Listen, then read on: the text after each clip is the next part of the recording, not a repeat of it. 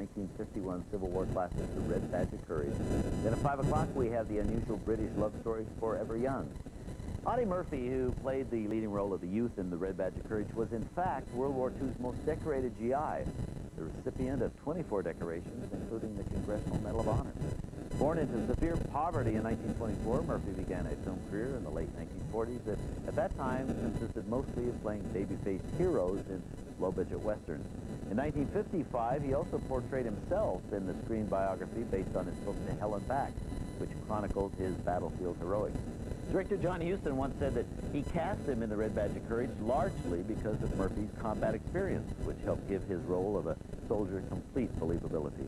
And now a classic film study of the degradation and inhumanity of war, The Red Badge of Courage.